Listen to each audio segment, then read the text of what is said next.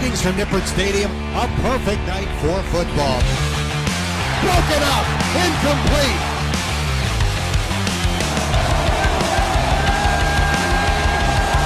It's kind of an electric atmosphere. Always fun calling games here at Nippert Stadium.